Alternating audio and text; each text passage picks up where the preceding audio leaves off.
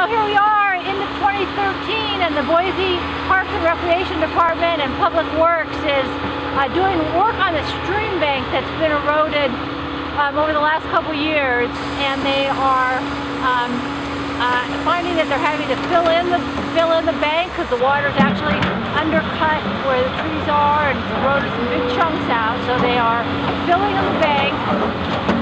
The, the river here is so close to the uh, Greenbelt path, so it's they're jeopardy of losing the Greenbelt path um, if, if they don't try to stabilize that bank.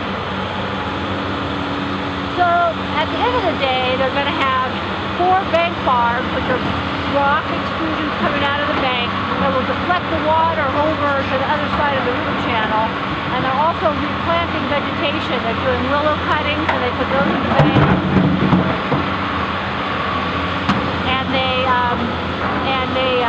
Will build some other vegetation planted too.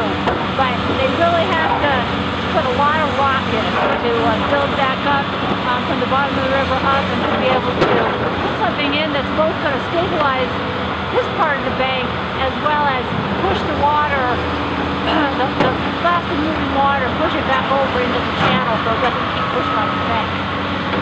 So this project's going to take about three weeks to get done. It was one of the highest priority projects for the city uh, because how close the um, how close it was to the greenbelt, and they had some big trees that have fallen over. And when the trees fall over, that really makes the place much more vulnerable.